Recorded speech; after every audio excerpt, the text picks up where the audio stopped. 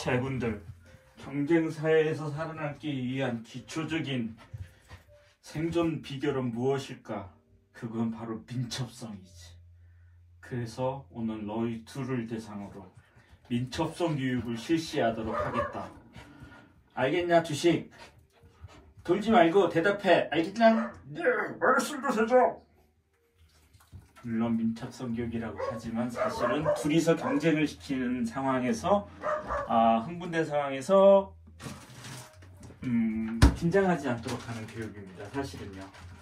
그래서 둘이 경쟁하면서 싸우지 않도록 하지만 동작 빠른 놈이 먹을 수 있도록 하도록 하겠습니다. 자, 얘들아 누가 먼저 먹을래? 깨릿 그렇지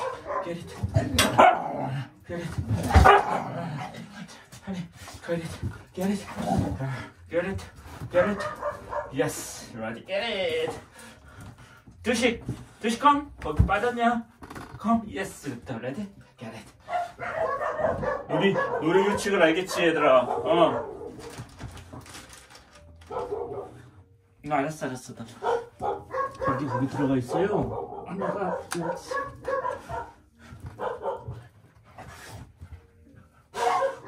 The fittest of survival 게임이다. 음? 빠른 자가 살아남는다. 알았지? 어디? Get it. Yes. Get it. 그렇지. Get it. Yes. Get it. Get it. 어디? Get it. 아, 신경질 내기 있기 없기. 두식 신경질 내기 있기 없기. 없기.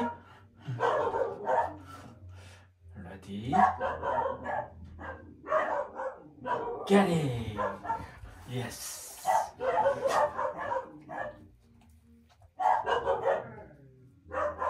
오케이. 예스. 우리 여기까지. 수고했어. 아, 드시 신나?